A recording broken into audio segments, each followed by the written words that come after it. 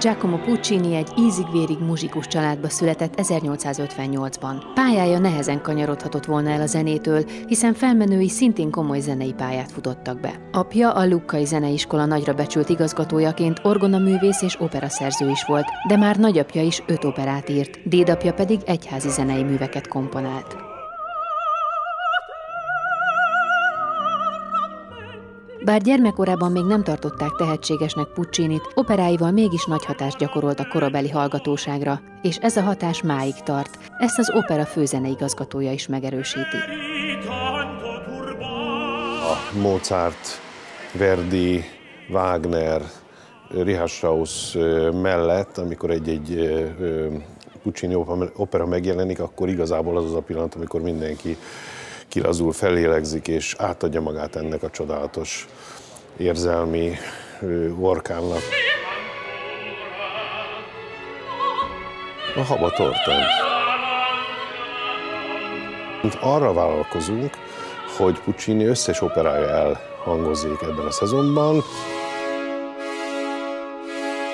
Puccini 12 operáján kívül a 2018-19-es évadban széles merítéssel kerülnek színre kortársainak ismert és kevésbé ismert művei is. Puccini kortársai úgy szintén híresek voltak, és egyébként tehetségesek is. Ilyenek voltak mondjuk Ponchielli, vagy, vagy Umberto Giordano, Mascagni, Leoncavallo, Cilea, Alfano, tehát ezek, ezek mind, mind nagyon tehetséges szerzők voltak hogy úgy mondjam, nem voltak jókor, jó, jó helyen, mert kitakarta őket ez a nap.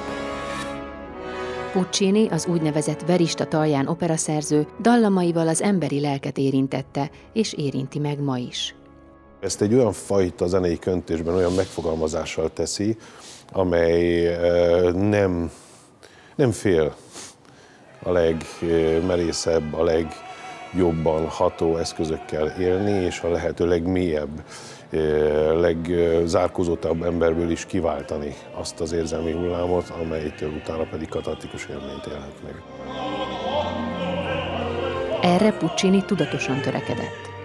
Puccini egyrészt egy nagyon profi színházi ember volt, aki tulajdonképpen az életének a professzionális részét azzal töltötte, hogy a folyamatosan új témákat, új hatásokat keresett, amelyek a közönségre elemi erejű hatást gyakorolnak.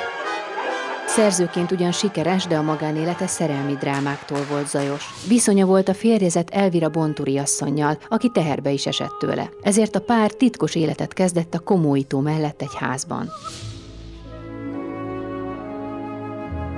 Később aztán az asszony férjének halála után Puccini feleségül vette Elvirát, akinek viszont a csélcsap zeneszerző mellett egyre betegesebb méreteket öltött a féltékenysége. Egyik féltékenységi rohamának drámai végeredménye egy cselédlány öngyilkossága volt, amiért bíróság előtt kellett felelnie. Ez a féltékenységi botrány az alapja Szálinger Balázs kamaradarabjának, melyet az opera felkérésére írt. Elég kemény a történet, igen. Tehát ha kemény, akkor már jó. Akkor már lehet, akkor már nyersanyag. A Krizantémok, vagy Liu halála című darabot 2019 májusában mutatják majd be. Az írói munkát komoly kutatás előzte meg. Korabeli sajtót is, az olasz sajtót is valamennyire, valamennyire átláttam, de hát ez az átlátás, ez elég veszélyes, mert az egyik ezt írta, a másik azt írta. Ezek ilyen társasági rovatok voltak, amiben az egyikbe ezt állították, a másik cikkbe azt állították, hát a korabeli bulvár.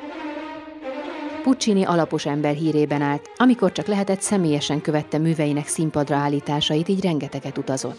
Így jutott el több ízben is Budapestre, ahol mély barátságokat kötött, elrabolták a szívét a magyar nők, és előszeretettel tanulmányozta a magyar kultúrát is. 1906-ban részt vett leghíresebb operájának a Pillangó kisasszonynak a színpadra állításában. Később a Nyugatlánya című operájának bemutatóját és előkészületeit is nyomon követte az Andrási úti palotában ezek a nagy pillanatai az itteni operajátszásnak, és ha az ember a korabeli sajtót megnézi, tehát eh, itt akár Csát Gézáig el tudunk jutni, tehát, hogy mindenkit izgatott ez, hogy merre járt, hogy ma, hogy, hogy ma kivel tudom, kávézott, hogy hogyan hajtott át az Andrási úton, hogy közben kinek írt alá egy kis toszka zongora kivonatot. Úgy kéne elképzelni, mint amikor Michael Jackson a Kempinski ablakából kinézett. Ez, ez volt Puccini, csak száz évvel korábban.